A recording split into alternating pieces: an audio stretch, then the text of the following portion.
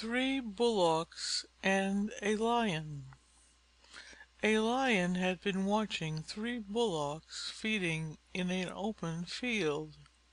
He had tried to attack them several times, but they had kept together, and helped each other to drive him off.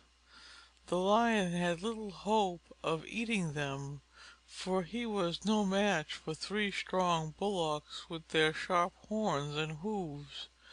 But he could not keep away from that field, for it is hard to resist watching a good meal, even when there is little chance of getting it.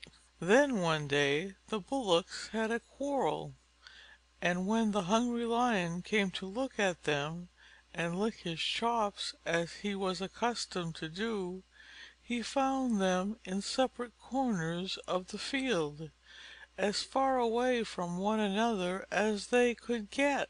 It was now an easy matter for the Lion to attack them one at a time, and this he proceeded to do with the greatest satisfaction and relish. In unity is strength.